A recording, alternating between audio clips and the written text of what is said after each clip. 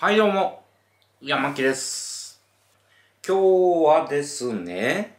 今日は、まあ RV 関係、値さらげさら系で話をすれば、まあ大きな一歩は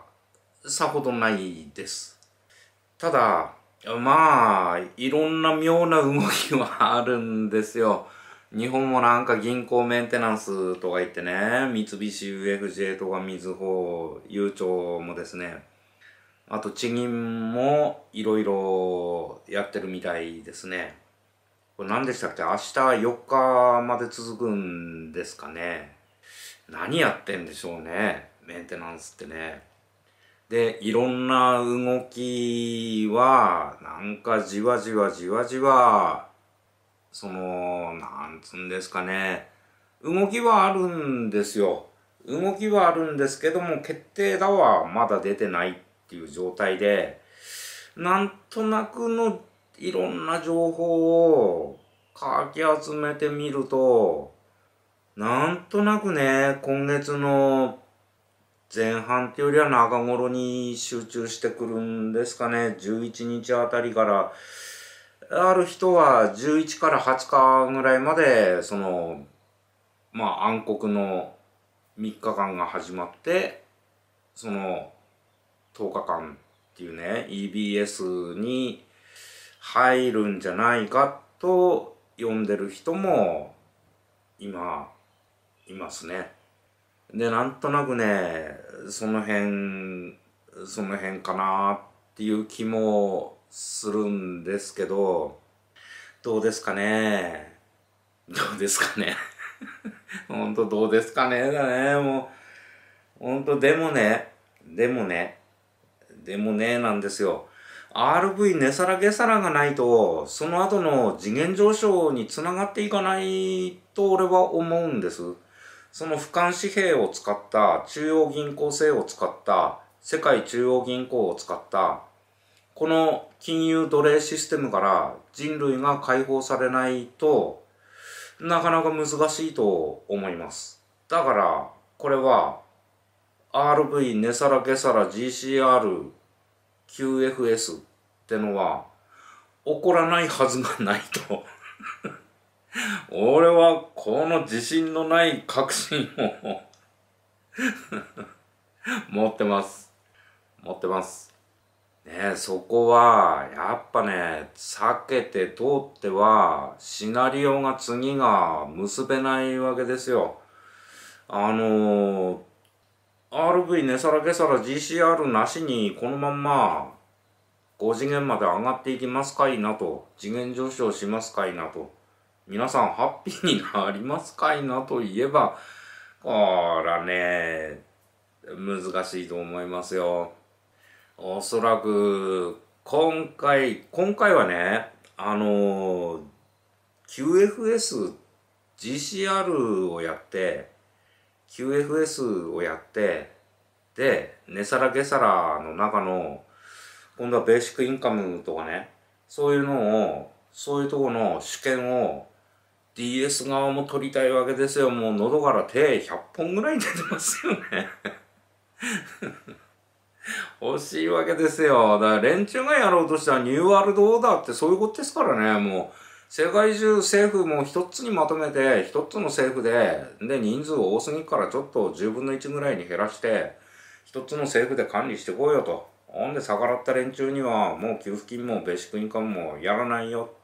と言えば、みんな言うこと聞くだろうというところに押し込めたいわけですよ。そらそうですよね。支配者としては、牛耳りたいわけですよ。エネルギーも経済も情報も全部ね。ただ、それがうまくいかなくなってるわけですよ。ねえ。YouTube でいくらバンしてったって何したってもう止めらんないですよ、その情報は。で、なんか今日、今日 X で流れてたので、あれって思ったのは、なんかあの、ビル・ゲイツが DNA いじったあの、なんつうんですかね、あれ、バイオロボなんですかねか、DNA いじった顔ねどうも大量にヘリコプターから巻いてるみたいななんかそんな映像あったんですけど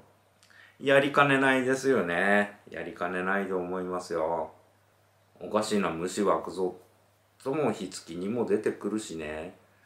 というところでまあ何が起こるかわかんないですけどでもこの今起こってることってのは経済的な資産的なこの地球の支配権を DS 側からトカゲたちから奪い返すということです今起きてることはね。で先の次元上昇っていうとこに行く途中のイベントとしてねそれが起こるものだと俺は今はそう理解してます。というところで、えー、っとね、あのー、次元上昇とかね、5次元とかっていう話は、あのー、俺比較的前半の方でしてます、してます。あの、怪しい茶会って言って10回、10回ぐらいまで行ったんですかね。その辺と、ある程度のとこでちょこちょこ話はしてるんですけど、あのー、まあ最近になってね、まあ登録者もおかげさんで7700越しましたねあ。りがとうございます。で、最近増えてきた方ってのは、あのー、ネサラゲサラ RV、GCR とか、まあその辺、その辺のその辺で一回あのサムネイルつけてとそこがやっぱ人が集まってくるんですよ。やっぱ興味の対象としてね金銭関係お金ってのは分かりやすいし見えやすいしで今どういう状況なのかっていうところとあとやっぱ皆さんねだいぶ困ってる人たくさんいると思うんですよ経済的にもね。だからそういうとこに興味が集まる集中するのはまあ当然だと思います。今の時期ならなおさらでしょうね。というところででもやっぱりあの根本的に自分が思うのはやっぱりその次元上昇っていうねそういうところにやっぱ自分は結びつけていきたいしそうなってくと何ですかねこれ理由のない証拠のない確信ですかね。何ですかね。まあでもそういうところで次元上昇していくよっていうことがこの先のストーリーです。その手前での金銭っていう本当金融奴隷からの解放ですよ起こってくるのはねなのであの次元上昇とかあと、まあ、メドベッドもですよね。皆さん興味の対象としては、やっぱ RV、ネサラ、ゲサラ、GCR、QFS で、メドベッドと、まあ、あと、フリーエネルギーとかね、その宇宙開示、宇宙テクノロジーの開示、6000種類って言われてますけどね、そういうもので、この世界がどう変わっていけんのかなっていうところだと思うんです。みんな皆さんが興味あるところってね。なのでもう一回あのまあネサラゲサラ RVGCR もまあひっくるめながらねもう途中のイベントなんですよ。次元上昇にまつわる途中のイベントなんでまあその後イベントの後でどうなっていくのかっていうところねその次元上昇って結局何なのよっていうところをもう一回これ順序立てて一回お話しした方が分かりやすいかなっていうね。分かりやすいかなっていうか俺も分かってるないんですよこうじゃねえかなと。長ね本当にね長いことやってますよアホじゃねえかと自分で思いますよ。娘にも心配されてますよ。もう陰謀論者としてね。本当にあの、痛い目で見られてますよ。でも俺もね、まあワクチンは、娘らはね、ワクチンは売ってないんで、えまあそこだけは助かったなと。えでも 俺のことは相変わらず陰謀論者としてまあかわいそがってますよ。早く気づけばいいのにと。お互いに思いながらね。まあでも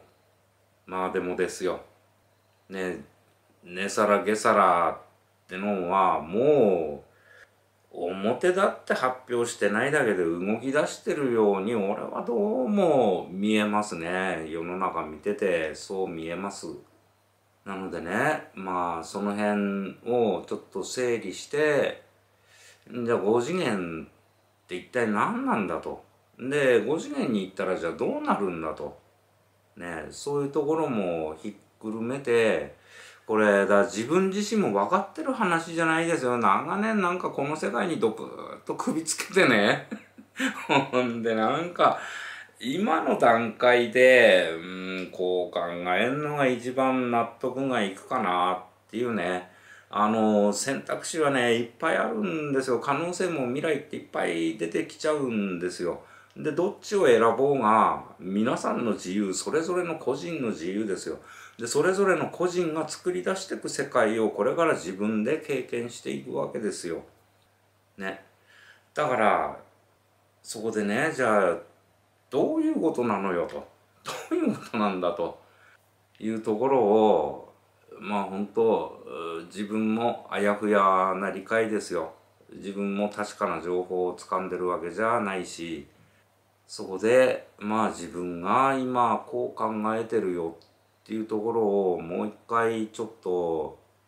うん、お話一回まとめてねお話ししてみようかなと今日は思ってました。ね、どういう形で伝えてったらいいんですかねこういうのね。ほんで伝えていいものがどうなのかも自分でこれ差にはしていかないとねほんとただ皆さんを混乱させるだけじゃ邪魔者でしかないですからね。そういうとこもひっくるめてまあいろいろもんもんこの日曜日 考えてました。というところですね。でまあコメントの質問でもねあのあったんですよ。今日昨日いただいたコメントですかね。その日本 DS ってそもそもどういう姿なんですかと。でどういうことをこれまでしてきたのかと。でどういう流れを持ってんのこれまでのね起こってきたことどういう流れを持ってんですかっていうこともその質問としていただいたのでねまあそういうこともひっくるめてですよね。その今起きてることっていうのが RV で終わりではないんですよ。寝さらげさら発動して終わりではないんですよ。それは途中のイベント。あくまでもイベントです。でそこに向かってまあ DS も仕掛けてきてるわけですよ。あのー、人数は減らそうとしてるからワクチンなんかやるわけですからね。コロナなんてのはワクチン打つための口実ですよ。ね。あの気づいた人たちは知ってますよね。気づかない人たちがなぜ目を覚まさないかとね皆さんそういう方多いですよね。俺もそう思ってます。でもこれね気づくばかりが選択肢ではないんですよね。もう一回ドブーッとさらに深い三次元のねとこまであるいは DS のナンバー2ぐらいまでね。ナンバーワンはルシファーは変わんないんですかね。どうですかね。ナンバーワンがルシファーなんですかね。その上にまだ何かいるんですかね。ねルシファーがスサノオだとかなんと本当にねいろんなストーリーはいっぱいありますよ。そん中からどれを選んで自分でね自分の中のストーリーが矛盾なくつながる部分ってどこら辺だろうなってことをいろいろもんもんもんもん考えたりねまあしてるわけですよ。でそういうことをしてきながら今大体こんな感じじゃねえのかなっていうところってのをちょこちょこお話ししてるんですけどねまあその辺もひっくるめてちょっと考えてみましょうかね。という気分で今日はいました。とあああとねあの昨日着てたねさらげさらの T シャツもその染め染めてもらえるんですか？っていう質問コメントもいただいたんです。んで何件か染めてほしいっていうことも依頼あるんですけども今ねまだあの大々的にその染めの注文を引き受けしますっていう状態には正直言ってまあ物理的な準備も自分の気分的なものもまだ整ってないんです。どうやっていこうかなっていうところでね。でまあただねまあねさらねさらの T シャツもねなんか染め方ね怪しい茶会2で染め方のその帽子のかけ方ってのをちょろってやってね。で染まったのをここで見してで注文引き受けませんじゃあただ見せびらかしてるだけじゃねえかおめえとかって。なんか怒られそうなね。なんかそうかなと思うんでとりあえずあのー、そうですね。あの一兵衛さんの一兵衛さんが作った T シャツ今回ねあのねさらけさら昨日着てた T シャツってのは一兵衛さんが作った T シャツなんですよ。なのでとりあえず一兵衛さんのそのねさらげさらのねさらげさらプラス9の T シャツの白白ですね。だその T シャツだけ一応お受けします。あのー、他の他のもんはもうちょっと待ってくださいね。あの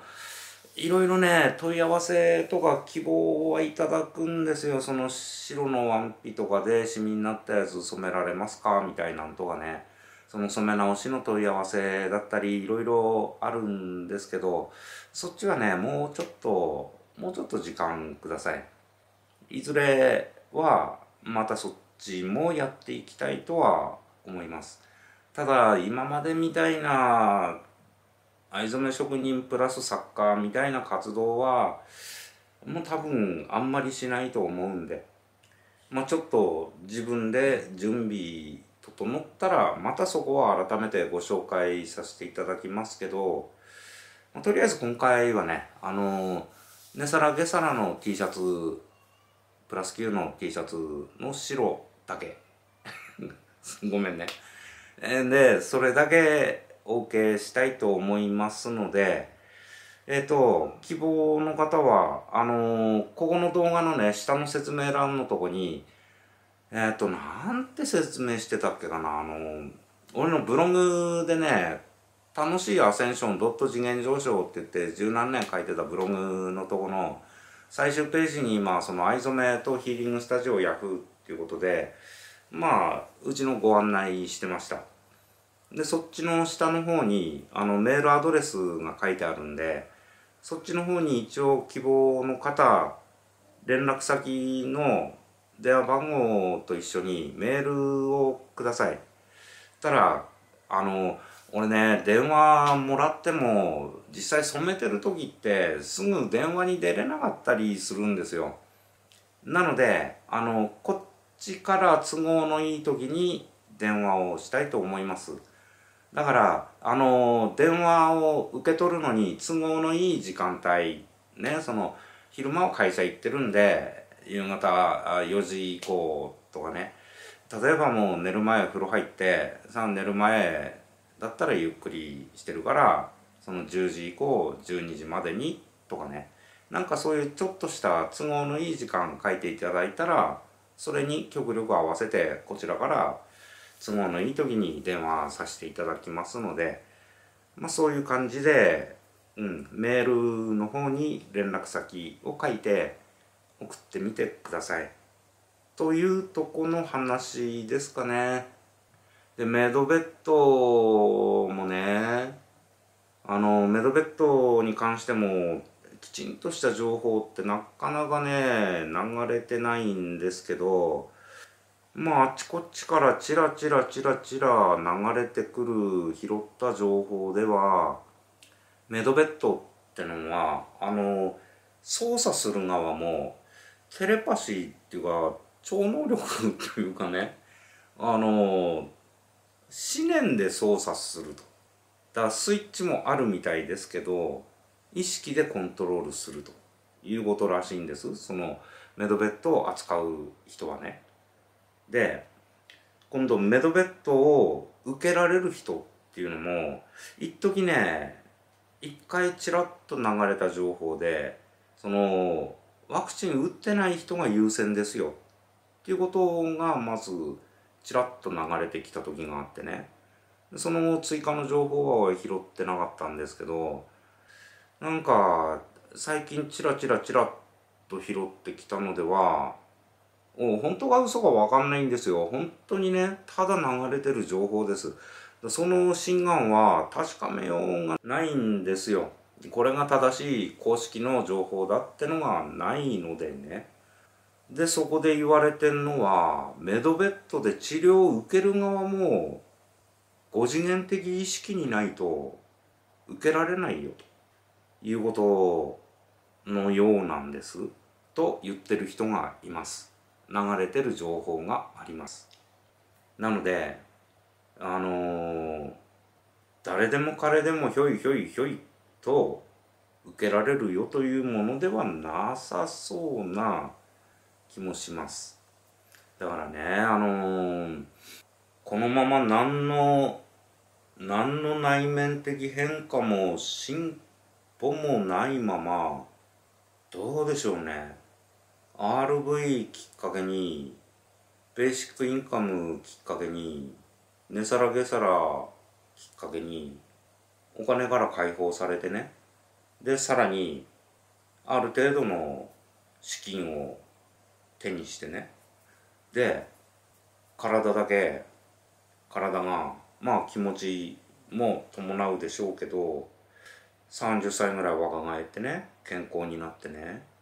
じゃあそれで5次元に上がれますか？と。いう時にはうんどうなんだろうなと。そこでまた新たな世界を仮に作れたとしても元の木阿弥に戻りませんか？ってね。だからある程度の決意やっぱね決意なんですよ。5次元次元上昇するんだというね。そういうことが必要なのかもかもですよ。かもしれません。という話があります。っていうとこですかね。っていうとこですかね。まあ一回ね皆さんであのおさらいというか復習というかね俺は今こう長年の怪しい茶会を通してね怪しい研究のまあ今たどり着いてる話結論としてはこんな流れだよっていうところをまあ一回ねあの真実じゃないですよ。話の種ですがこういうふうに考えてるやつもいるんだなぐらいでね。捉えていただける話として次元上昇とかネサラゲサラアセンション GCRRV ベーシックインカムメドベッドっていうところをもう一回ですねちょっとまとめて今後まあ近いうちにね話してってみたいと思ってます。というところの話でした。まあ興味があれば是非また遊びに来てくださいね。じゃあまたね。